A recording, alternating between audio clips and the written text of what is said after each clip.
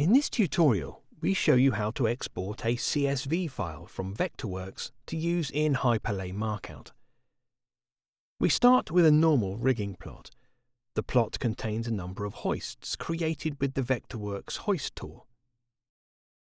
The hoist itself contains many different data values, but we're only interested in the label, type and total load values.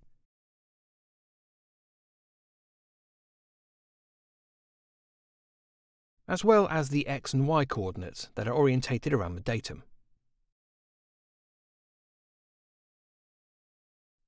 From the menu bar, select Spotlight.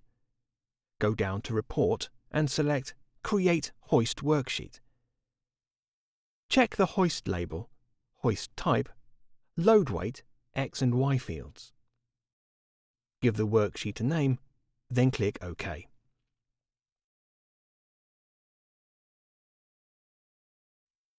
The hoist report pops up, and here we can see our columns. You'll notice three extra columns, layer, name, and symbol used. These extra columns are added by default by Vectorworks and will be ignored by Hyperlay Markout. Now that our sheet is ready, it's time to export it as a CSV.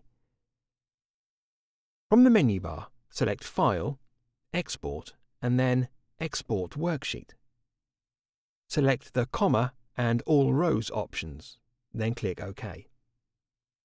Save the file, but remember to choose CSV as file type. Now simply transfer the CSV file to your iPhone or iPad with the method of your choice. I'll transfer the file to my iPhone using AirDrop. You can also upload the file to Dropbox or iCloud Drive and import it directly from within Hyperlay Markout.